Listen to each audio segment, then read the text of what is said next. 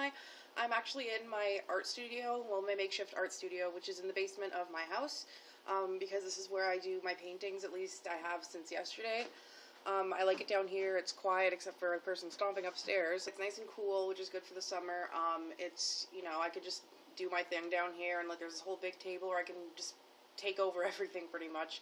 So today I'm going to talk to you about my art, my paintings, because a lot of people have asked to see it, and um, yeah. Now, if you follow my Instagram or my Facebook, um, links are down below, by the way, hint, hint. You've probably already seen all of these, or at least most of these, but um, in this video, I'm going to be talking in in depth, or as in, de- in depth as I can, about each painting and my inspirations, my motivations, and yeah.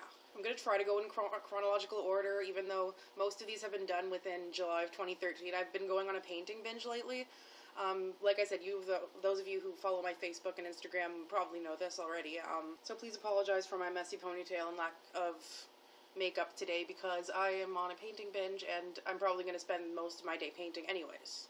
I'm going to just talk a bit about my history with painting and drawing. Um, I'm usually used to pencil crayons more, and I could have another video where I draw, uh, show my sketchbooks and show my drawings, but recently I've really been into acrylic paint. I've never really been that into it before. Like, I have done some, but I've, I'm 99% of the stuff I'm not happy with, so this is pretty interesting, um, because I'm actually happy with, semi-happy with the paintings that I have. And you can see I have paint on my arm. I got an abstract painting going there, because, um, yeah, I like rest my arm on the canvas when I paint. So my main inspirations are Salvador Dali and like any like most surrealist painters and uh, Mark Ryden. Um, in case you didn't know, Mark Ryden is an awesome artist, and you should look him up. It's R Y D E N last name.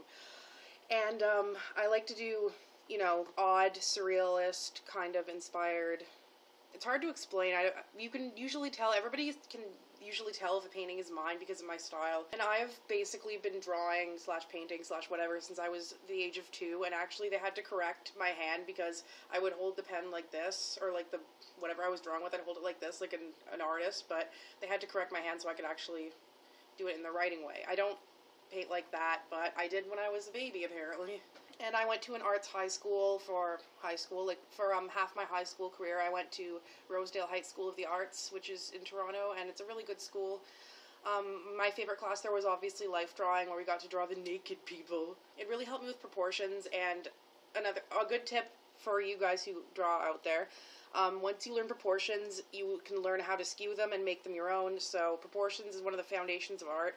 And the number one tip I have for getting good at art for those of you who want to know, is just practice. It's simple as that. Just sit down and draw your little heart out, paint your little heart out. I'm sorry if you can hear the people upstairs. Anyways, let's get to the paintings. So probably the earliest one I have here is this.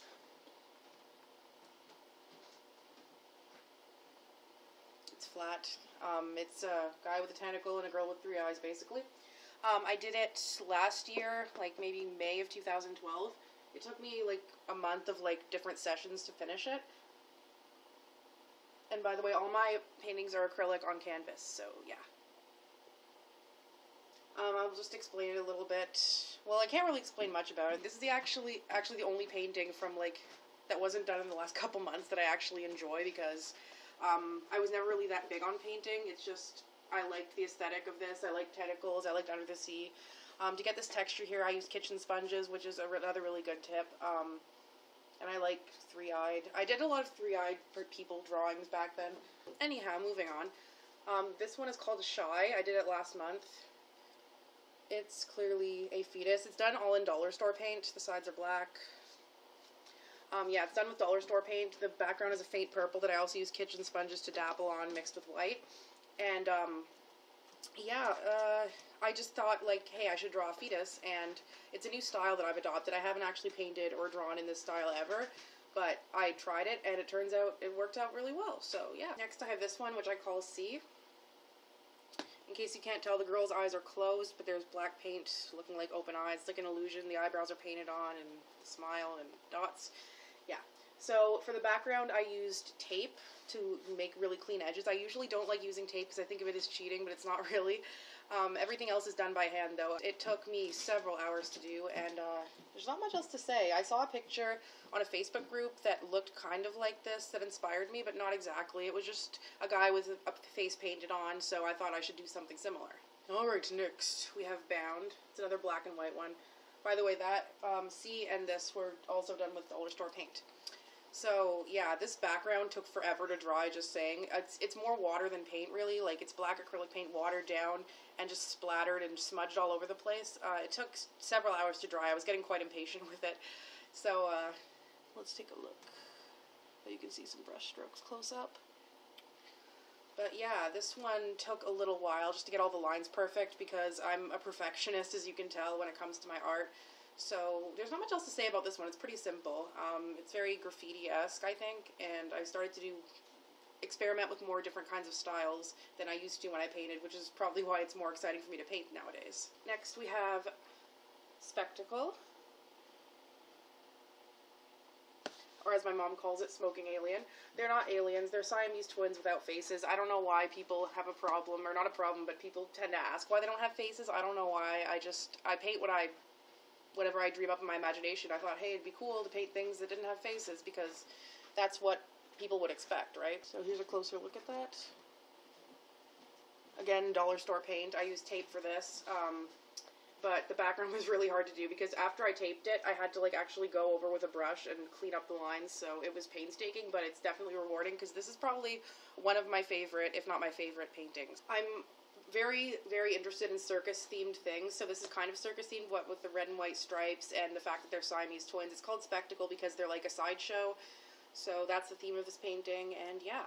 Next we have Pest yeah, as you can tell, most of these canvases are the same size, um, studio canvases. Uh, this one, it's pretty interesting. I used to do these kinds of things a lot more often, but more with drawings. Um, the, the white outlined with the black, as you can see. I haven't really done that that much. Like, I this is the first my first time trying it. As you can see, the eyeballs like all wrinkly and stuff. But yeah, it's like essentially a spine with like spindly legs and a stinger, and uh, yeah, I don't know what was going through my mind at this point, but um, I just thought I should draw a bug. I'm very interested in bugs, even though I don't want them near me. I just like the look of them. I like how people perceive them as dirty, and that makes them like unwanted. So it makes for good art. I know it sounds stereotypical, but that's what I think when I uh, do the painting. And here we have Bat Embryo. I call Rascal. I don't know why I call him Rascal, but the whole title of the painting is Bat Embryo. I call Rascal. Um, I took a reference picture of a bat embryo off of Tumblr and I kind of modified it to make it my own. Everybody says the wing looks like a frog leg, but that doesn't bother me because it can look like whatever you want it to. Yeah, I just had a bunch of dollar store paint left over, and I was like, I haven't used orange in a while, so I just streaked the background on really thick with.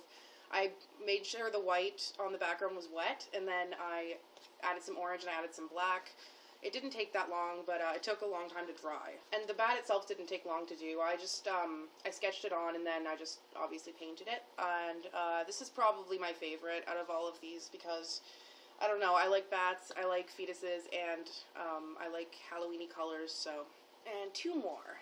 First, we have this one that I did yesterday. It's called Sea Hag Loses Her Mask. Obviously, a sea hag loses her mask. Um, my motivations behind this were that uh, she found a treasure, but she's looking at the mask because she's more concerned with looking happy than the treasure because, you know, she wants to put on this facade of happiness even though it's kind of a creepy happy. And this is inspired by, by graffiti art as well because of these, um, yeah, these lines and, you know, these shapes and whatnot.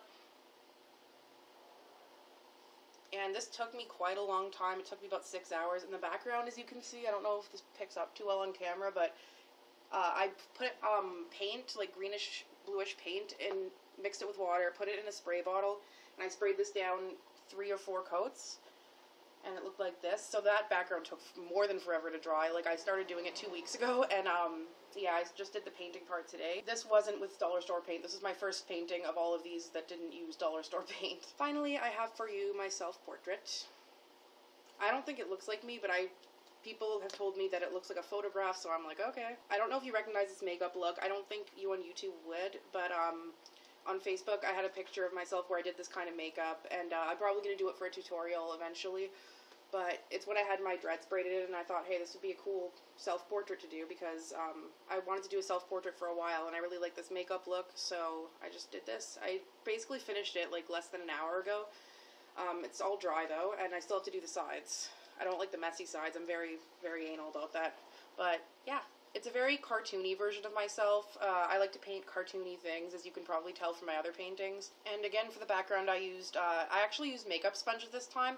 I actually have one here, but I tore it up to make texture, and then I just mixed it with white and dappled it on. Um, that's a really good technique too if you want to achieve better better backgrounds. Because I used to suck at backgrounds. Honestly, I mean, I used to never do backgrounds, and when I did, they were awful. So um, yeah.